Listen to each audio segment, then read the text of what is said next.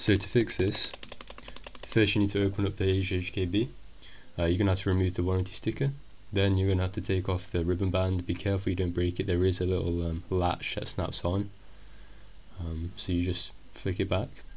Don't lose any of the springs. Hopefully you shouldn't need to replace any of the domes if they uh, fly around. They shouldn't fly around um, if you're careful.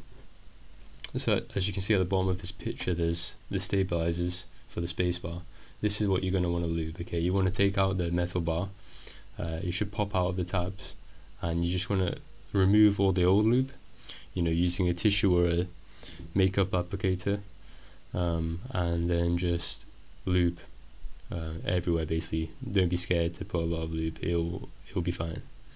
That's just a sh shot of the sliders if you were interested in silencing it. And here we go